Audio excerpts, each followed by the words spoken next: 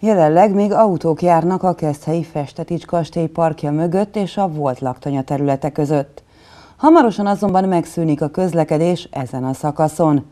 Az egykori laktanya 24 hektáros területét ugyanis visszaállítják eredeti állapotára, vagyis a kastélypark látogatható részévé teszik. Ennek a legnagyobb és legjelentősebb fejlesztése a pénteki keszthelyi sajtótájékoztatón elhangzott, a Helikon Kastély Múzeum és a park fejlesztésére összesen 4 milliárd forint hazai forrás állt rendelkezésre. Ezzel elérjük azt, hogy vissza tudjuk állítani az eredeti több mint 30 hektáros kastélyparkot, és visszaáll talán az ország egyik legnagyobb, és azt gondolom, hogy talán legimpozánsabb kastélyparkja, visszáll az eredeti méretében, az eredeti formájával. További másfél milliárd forintból pedig a kastély parkjában található kertészeti rész újul meg, zöldség és fűszerkertet alakítanak ki.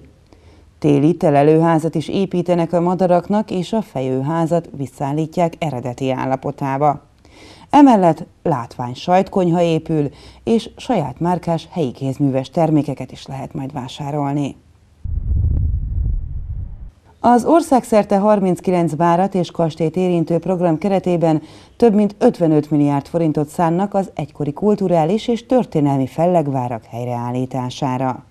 A Nemzeti Kastélyprogram és a Nemzeti Várprogram egy olyan egységes, európai szinten is unikális, egységes turisztikai láncot alkot majd, amely önálló destinációként, turisztikai termékcsomagként értelmezve egy programot valósít meg, amely mind művészettörténeti, mind történeti szempontból, mind pedig a mi nem különben fontos gazdasági szempontból is egy hosszú távon fenntartható alternatívát jelent egy 21. századi kastély és vár használatra.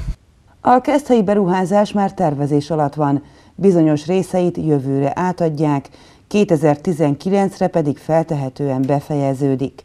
A kastély és környéke a munkák idején is látogatható lesz.